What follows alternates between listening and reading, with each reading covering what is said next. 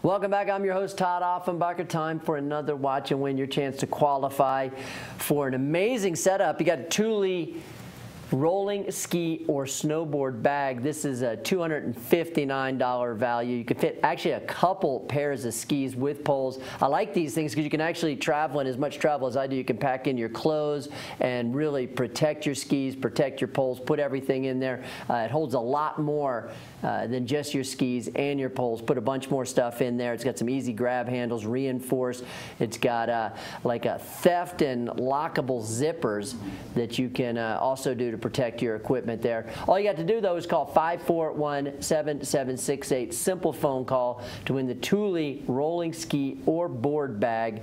Second prize is a Patagonia hat and hoodie combo. That's organic cotton and they match.